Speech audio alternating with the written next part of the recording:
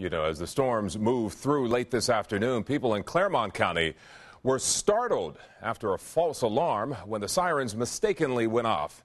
And this isn't the first time this has happened. News 5's Laura Borchers has been out tonight searching for some answers. She's live with more. Laura? Curtis, Clermont County's Department of Public Safety is already in the middle of an investigation into a malfunctioning siren. That's from Wednesday's event. Now they can add tonight's date onto the list of mysteries. Uh, the siren started going off about 5 o'clock. Um, they were probably going off for maybe about a half an hour. Um, walked outside and looked up, and the sun was out. So, kind of uh, questionable as to whether the siren should have gone off or not. Dennis Mercurio found no tornadoes or even bad weather. He was confused.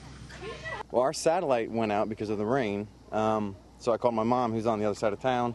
Uh, she said she turned on Channel 5, and Eric Zarnitz came on and said there was uh, some sirens going off, but there was nothing to be concerned about.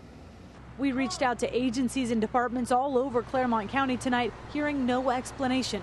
The Clermont County Communications said earlier this week that lightning strikes may have caused the alarms to sound Wednesday.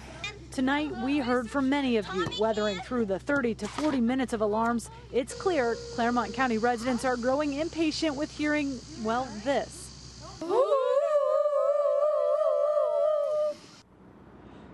They heard it long enough to get that sound just right. Now, again, we want to remind you there was no tornado warning tonight in any part of the tri state. Reporting live in Clermont County, I'm Laura Borchers, News 5.